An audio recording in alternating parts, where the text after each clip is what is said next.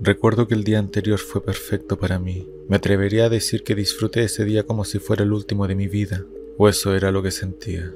Fue el día perfecto, ya que era mi cumpleaños.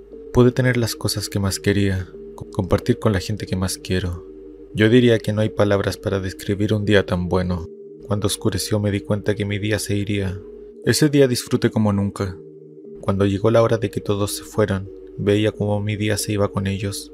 Y es que en serio, fue un día alucinante. Recuerdo que me fui a mi habitación con una mitad de pizza, como para seguir yo solo celebrando. Pensé en todos mis cumpleaños anteriores y también pensé, ¿por qué este era tan importante?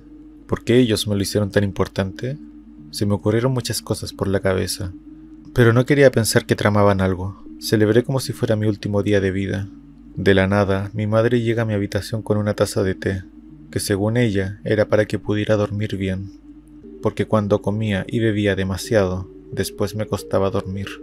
Me lo tomé y no supe ni de mi alma. Estando dormido, no sé si lo que viví fue real o solo un sueño.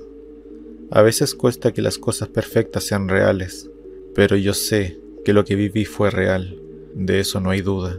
Cuando traté de despertar, algo o alguien me volvió a dar algo para que siguiera durmiendo. Hay veces que los sueños parecen tan reales que no sé qué pensar. Estuve todo el tiempo teniendo un bonito sueño al parecer, porque sentía que había dormido demasiado, cuando lo que sonaba como el sonido cuando uno golpea la puerta era realmente martillazos que me despertaron.